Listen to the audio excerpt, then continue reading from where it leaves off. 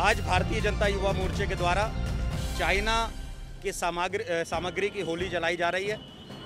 Chinese सामानों का बहिष्कार करने के लिए, आत्मनिर्भर भारत बनाने के लिए हम सब युवाओं से संकल्प भी दिला रहे हैं। और जिस तरह की घटना चाइना के द्वारा की गई है, उस सारे विषय को लेकर उन सैनिकों को भी अभी हम यहाँ पर श्रद्धांजलि देने वाले हैं।